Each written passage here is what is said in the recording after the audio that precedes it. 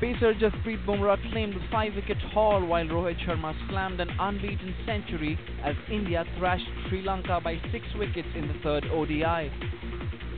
The victory helps India seal the five-match ODI series 3-0. For Sri Lanka, their string of poor performance angered their fans with bottles being thrown in the field. Kohli and company had completed a historic 3-0 whitewash in the Test series and now the Lankans stare at another humiliating clean sweep with two matches remaining in the ODI series.